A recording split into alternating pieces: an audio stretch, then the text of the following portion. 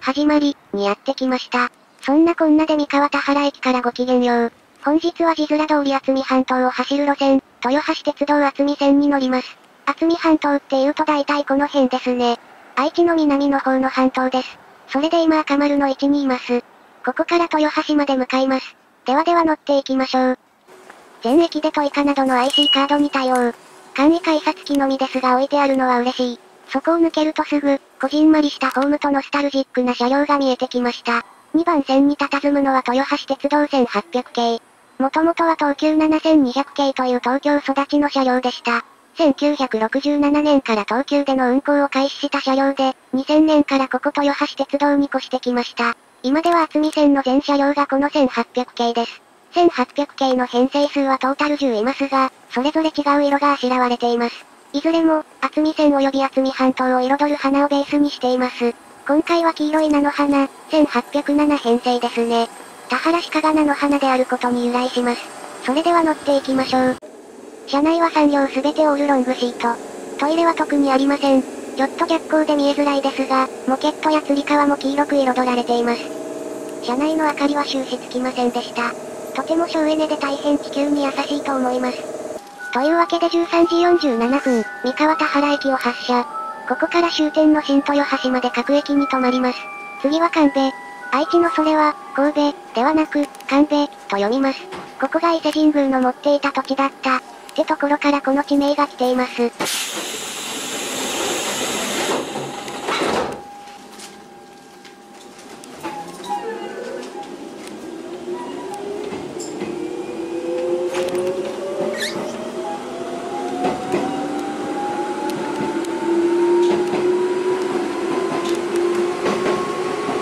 もうそろそろ豊橋鉄道厚見線の概要についてでも軽めに。豊橋鉄道厚見線は三河田原と新豊橋を結ぶ18キロ16駅の路線です。すべて単線。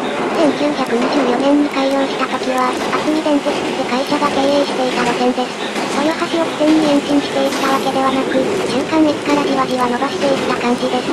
ちなみにその当時は三河田原の少し西南西にある、黒川原ってところまで線路が伸びていました。それからしばらくして1940年、厚見電鉄は名古屋鉄道に合併され、名古屋鉄道厚見線となりました。実は一旦は大手私鉄の経営路線だったのです。それからしばらくして、厚見線にこんな話が立ち上ってきました。厚見線を国有化しよう。1940年代に上がってきたこの話。突飛な話のようですが、意外と合理的。当時厚見半島の先っぽに陸軍の研究所があり、また国有化すべき路線としても上がったため、黒川原から堀切までさらに延伸し、国鉄線として運営することが図られました。しかし1942年6月の日朝海海戦で敗北を喫してから、選挙区と日本経済が下り坂。それでその施設計画は汚染に、さらに黒川原から三河田原駅まで、不要不急線とみなされて休止。その時レールは戦争の時代のために剥がされ、もうそこを鉄道が走ることもなく、結局、その期間は1954年には名鉄によって、休止状態から廃止へと追い込まれてしまいます。ちなみに同年10月には、厚見線の経営は名鉄から豊橋鉄道に移りました。以来、豊橋鉄道がこれまで60年以上、この路線を運営し続けています。ま、今も名鉄グループの一つには入ってはいるんですけどね。そんな東路線は2000年に入る前に、電圧を 600V から 1500V に上げたことがあります。これを小圧と言いますが、そのメリットは車両の速度向上や、車両間隔を短くできること。この厚見線も小圧に伴い、最高時速は60キロから75キロに上がりました。しかし電圧を上げるということは、それに対応する車両が必要になります。そこで、名鉄から7300系という車両を譲り受けてもらったのです。これで小圧に伴う車両面も完璧、15分間隔から12分間隔への改正も実現。しかしそれはぬか喜びに過ぎませんでした。というのもその電車は古い吊り掛け式。そのため加速が鈍いです。加えて2バー転換クロスシート。長距離なら喜ばれますが、この路線は18キロの短め路線。上に遅延がしばしば発生し、ラッシュ時は12分間隔のダイヤがまるで意味をなさなくなる羽目に。そこで急遽15分間隔に戻し、急いで1800系、今乗っている車両に切り替えたわけです。ちなみに電車は今も、およそ15分間隔できます。運行地域を考えるとかなり頑張ってる方です。7300系は、お気の毒ですがほとんど廃車になってしまいました。そんなわけで路線の概要終わり。次の停車駅は矢馬台。渥美電鉄時代は、矢馬、聖地でした。この駅はやはり戦争で苦しい1944年に一度休止し、以後30年弱眠り続けていました。ですが豊鉄不動産や矢馬自治会の尽力により、矢馬台には団地ができるようになりました。それで、眠らせていた矢馬駅を起こして、矢馬台駅が再開しました。だから新しめの駅とも、古い駅とも解釈できる、なんとも不思議な駅です。全国で2番目の農業どころ、何でも取れる田原市を出まして、次が杉山というところまで来れば、あとはもう終点までずっと豊橋市です。広い、車両のスペック的には時速75キロまで出せますが、路線内最高時速は70キロ。それと、ほとんどの区間を時速60キロで運行しているようなので、残り14キロ程度でもあと30分弱かかります。その昔、20年間だけ走っていた急行が今もあればもう少し、とは思いますが、単線で急行、しかも通過駅はわずか4駅、その上まだ掌握される前だったようで、速達効果としては微妙な、1日数本程度の急行は、1985年に廃止となってしまいました。そんな豊橋鉄道はやはり速達界の熱意が冷めていないのか、数年ほど前の豊鉄90周年の式典の際、厚木線の伏線化について言及していました。それで現状35分かかっているものを、30分に縮めたい、と言っていました。しかし伏線化には莫大なコストがかかります。その上交換待ちが少ない終電でさえ、31分とギリギリ間に合わないくらい。だから計画はどうにも進んでいないように思われます。一体どうなることやら、杉山で行き違いを済ませ、次は追いつ。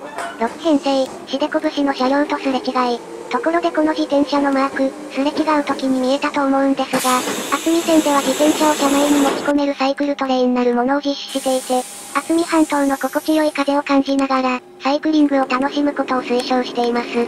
と休日は全列車で、平日もお昼限定で自転車を列車内に持ち込めるので、自動車じゃなくて自転車で、全身で厚見半島を楽しみたい方はぜひ、ちなみに夜メロンは自転車に乗れません。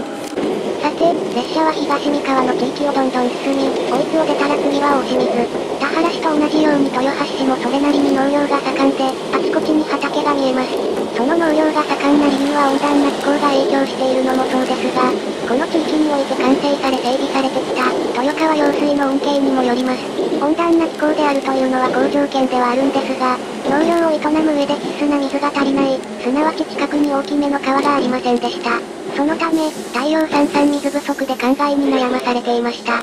それを見かねた田原市の政治家である近藤樹一郎が、インドネシアの農業に学び、新城市、愛知県東部の山深くに建設したウレダムから、豊川用水を引き上げる工事が進み、1963年に豊川用水が出来上がりました。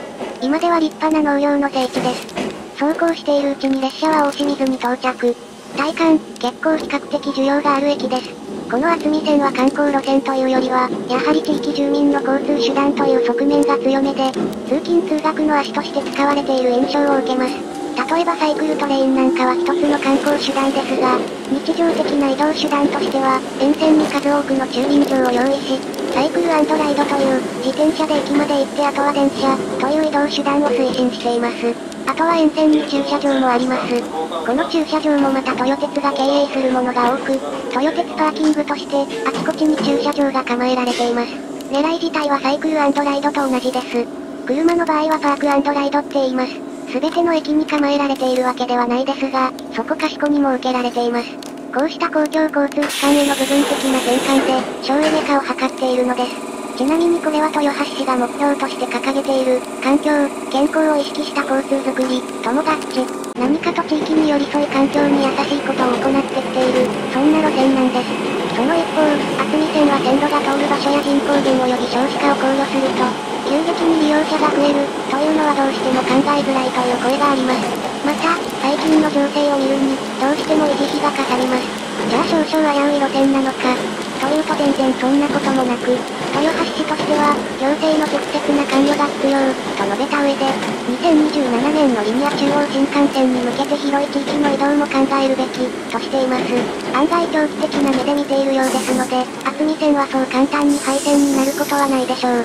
利用状況の雰囲気は豊橋鉄道が経営するもう一つの路線である、東田本線とか市内線とか呼ばれている路面電車も似た状況になっています。そちらはそちらで東海地区唯一の路面電車ということを活かし、納涼ビール電車、都電車、など、様々なイベント列車を運行させています。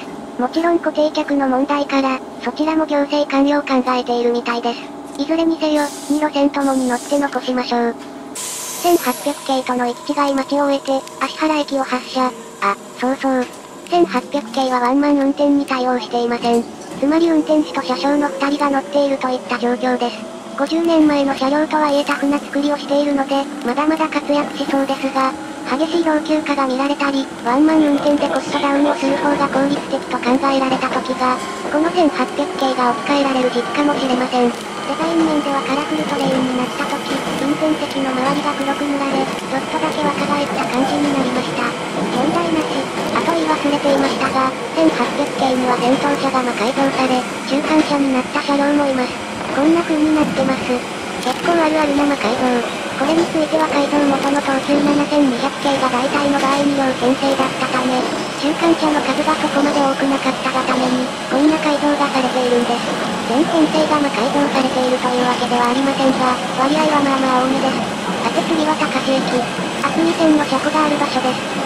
高橋駅の車庫、まだ1800系がデビューしたての頃、一度火事に見舞われたことがあるんです。その時に特難2両が被害を受けたり、車庫が停電したりで踏んだり蹴ったりでした。結局、部品取りのために保管していた3両のうち2両を整備して運行開始、ってことになりました。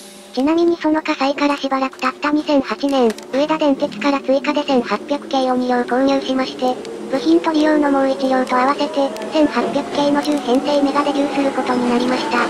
今は車両の不足もなく、平和が訪れています。よかった。さて次は南栄。その次の駅は愛知大学前です。豊橋鉄道と愛知大学はつい昨年、お互いに連携をしていくという協定を結び、地域を豊かにしていこう、豊鉄を豊かにしていこう、といった、そうしたプロジェクトが行われています。学生にとっても実践的な場になって、有意義な活動ができそうです。事実、ついこないだ4月には、豊橋鉄道の魅力を伝える PR 映像も打ち出したそうです。私も見てみたのですが、いい雰囲気だなと思ったので、気になったらぜひ見てみてください。今後は2年後に迫る豊鉄100周年に向けて、企画が行われるかもしれません。期待。愛知大学前、小池と止まっていき、次の停車駅は柳生橋。そろそろ豊橋市街地の中心部に入ってくる頃です。この駅間では新幹線、在来線とクロスします。静岡鉄道の草薙付近っぽいですね。